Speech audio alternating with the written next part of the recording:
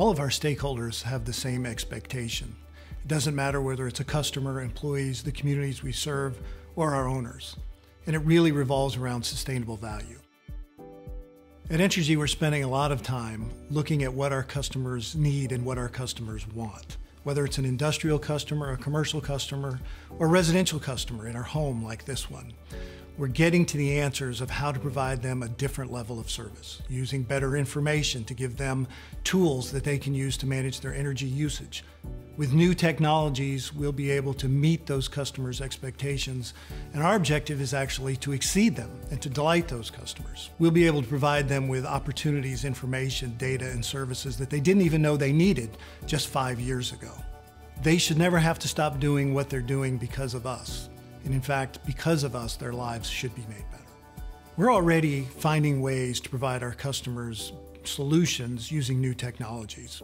Whether it's digital controls on our non-emitting nuclear resources, new gas-fired generation that's far more efficient and far more environmentally friendly, to new technologies like automated metering.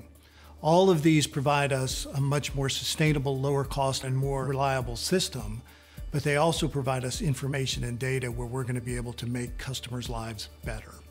Think of a residential customer cooking dinner in their home. They may not know that the room down the hall is too warm or too cold. They may not know that their air filter needs to be changed. Through technologies that we'll deploy, we'll be able to give them information that allows them total solutions. They'll be able to make decisions and we'll be able to provide them opportunities to lower their costs, to be more environmentally friendly themselves. The first technology that we'll deploy where customers will really notice a difference is automated metering. With automated metering, we'll have a whole world of information that we've never been able to provide to them. We'll be able to provide them outage notification. We'll be able to allow them to manage their bills with real-time information about their energy usage. At the same point in time, we have some of the lowest rates in the United States, and we intend to continue to be able to do that to help promote economic development and growth within our service territory. We've been talking to our employees for several years about the change and disruption happening in our industry. And they see it in other industries. And actually, our employees are excited about the opportunity for us to get into the new digital age. They know it won't always be comfortable. We have to provide them the opportunity for new skills, new training.